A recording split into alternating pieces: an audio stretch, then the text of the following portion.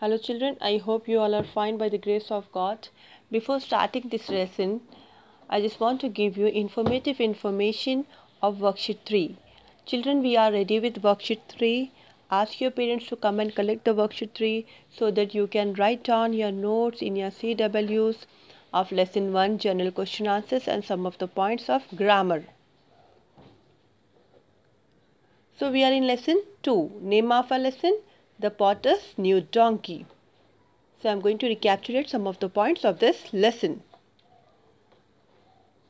Here you can see a potter, an old donkey and a ragged boy. So with this you got to know that the potter was shocked to see this ragged boy. How he came? Let me give you some more points.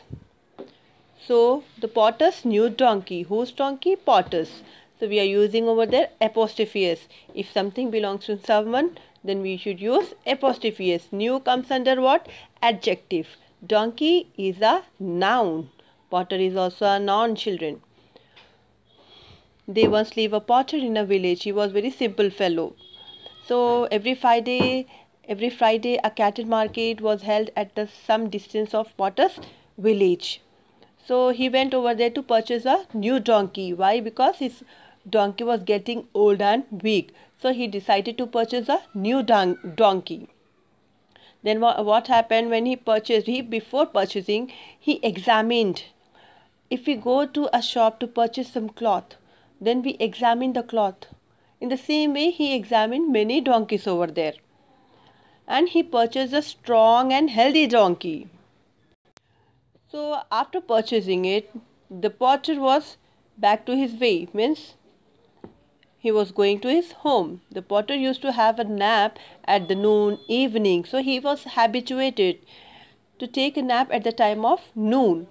So he was dozing. What he was? He was dozing. The old donkey. He was dozing on the old donkey. On old donkey's back. So when he was dozing, the two clever boys saw, to whom? To the potter and the healthy donkey. So they did some tricks over there, and they one boy removed the rope from the donkey's neck, new donkey's neck. In this way, something happened over there. So when he reached Potter, when he reached to his village, let us see what happened. So he was surprised to see a rag boy. R-A-G-G-E-D. Ragged means what children? Wearing old and torn clothes. So he was wearing old and torn clothes. Who? This boy. He was surprised to see this boy. And he asked, Who are you? cried the potter in surprise. Where is my new donkey? Who is asking this? The potter is asking to whom? To the ragged boy. Sir, it was I who was your new donkey, said the boy very politely. Please listen to my sad story. Who said this? The ragged boy said to whom? To the potter, I was not a good son. I used to be very naughty and often played truant. I never did my lessons. So he's saying his story to whom? To the potter. Meaning of played truant. Remained absent from school without permission. I never did my lessons. My parents became fed up with me. Fed up is nothing but what? Tired, bored, unhappy. They prayed to God to change me into the donkey to change me into a donkey. God granted their prayer and truly be, I truly became what it became? Donkey. I had four legs and two long ears. I started eating grass as donkeys do. My kind sir, now who is kind here? Potter. My kind sir, may I know go back to my parents?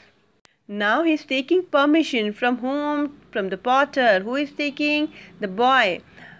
My kind sir, how he requested, see, my kind sir, may I now go back to my parents? how sad my mother would be for me. Then what happened? But how have you changed back into a boy again?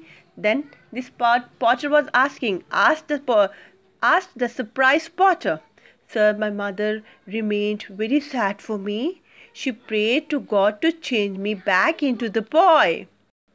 God granted her prayer when you were leading me to your home. Here, see, listen. When you were leading me to your home, kind sir, please let me go now. Kind sir, please let me go now. See how prettily he is uh, requesting. Request matters, children. You should request someone.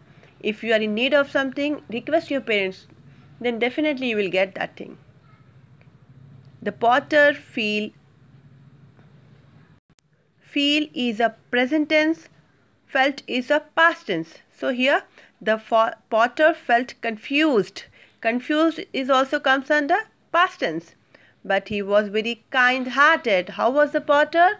Potter was very kind hearted. In my previous video I have given new vocabulary for this. Kind hearted can also called as compassionate. He removed the rope from the boy's neck and said, Oh boy, behave yourself in future and obey your parents. And then he let the boy go. Let me explain you the meaning of obey. To follow, to listen, that thing comes under obey. Very obedient child means what? The child who listens to the parents, that thing comes under obedient. Obey, follow your parents, listen to your parents. And behave yourself is what?